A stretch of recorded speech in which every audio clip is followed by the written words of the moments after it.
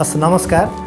Corona महामारी र यसको कारण लामो समयदेखि चलिरहेको बन्दाबन्दीका कारण हामी सबैको दैनिक जीवन असहज भएको छ। यस्तो अप्ठ्यारो समयमा हामी बिच एकताको खाँचो छ।